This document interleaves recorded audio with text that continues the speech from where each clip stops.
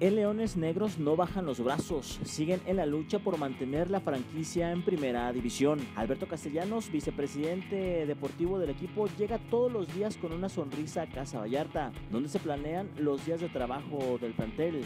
Confía en que podrán sacar el barco adelante. A todo el staff de la escuadra universitaria lo saluda y quiere brindarles confianza que no pueden bajar los brazos en estos momentos. En la intimidad de su oficina atiende pendientes y una cosa tiene clara, si les toca dejar el máximo circuito, el proyecto deportivo seguirá buscando regresar nuevamente a primera división. El escenario de que, de que el equipo pueda descender, bueno, pues está ahí es una posibilidad, por supuesto, que el equipo desciende, los números así lo, así lo dicen.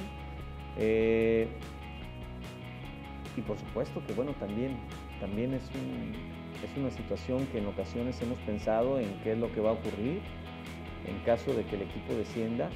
Y, bueno, pues yo creo que por supuesto eh, hacer el esfuerzo porque el equipo se, se mantenga en liga de ascenso, pueda buscar la posibilidad de regresar eh, mayormente con, la plantilla que tenemos en este momento, que hay muchos jugadores que, que podrían echarnos la mano, necesariamente tendríamos que desechar algunos de los jugadores, sobre todo para cubrir algunos compromisos económicos que tenemos en este momento, porque al final tuvimos que endeudarnos para poder adquirir algunos jugadores, tendríamos necesariamente que eh, desplazarlos para, para, cumplir los compromisos e iniciar un nuevo proyecto en Liga de Ascenso si eso fuera lo, lo que ocurriera, ¿no? Pero estamos eh, confiados en que vamos a salir adelante.